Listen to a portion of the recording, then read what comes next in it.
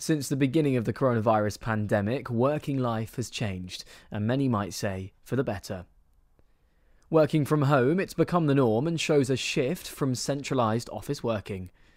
A YouGov poll back in May showed that 38% of the workforce were now working from home the whole time. That's up from 7% prior to lockdown. Now, a new YouGov survey of UK business leaders finds that many bosses have changed their minds about the practice.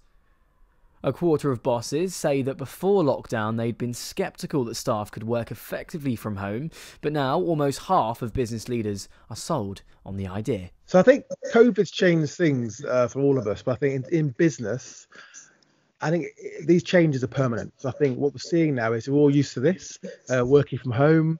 Um, uh, but the key is is that although people are more productive, although you know businesses and entrepreneurs they don't stop working because it's raining, the issue is that giving people the tools to do the job.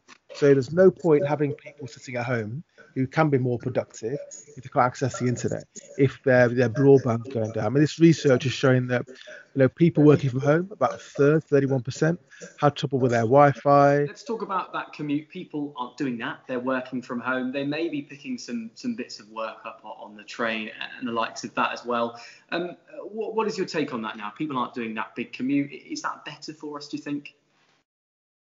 So the research with Vodafone has shown that I think it's 60% of people have sort of saved time commuting. So that means that you're not spending time sitting in the car at the bus stop or on trains. You're now able to sort of, you know, split that time between your personal time but also working. So if you're a small business, especially if you're one of the, the owner, the entrepreneur, and you are saving time, it gives you more time to focus on what's important.